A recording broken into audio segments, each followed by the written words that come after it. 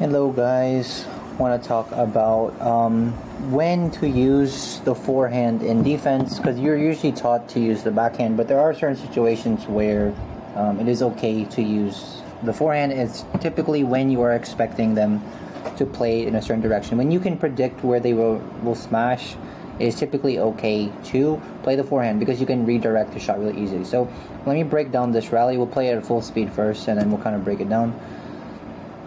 So here is what the actual rally looks like, right? Or the, the last few steps before it. So what happened was, right, my partner here played this shot.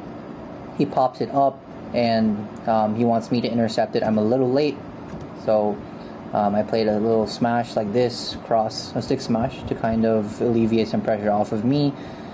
Um, and he's gonna play a fast lift like this. So the guy is able to smash it but not get fully behind it, right? Which kind of limits his options. Like if this was a full lift, right, then we have to worry about all attack angles, right? But because he is a little bit limited here, we can kind of limit down. He's not to be playing a, a, wide shot all the way out to the right side. Um, he'll probably playing it down straight or down the middle, right? So down straight will be my partner in red his responsibility. But if he plays it down the middle, right, that's on my forehand, right? You can see I'm not even prepared for the backhand. I'm not expecting him to play cross at all, right?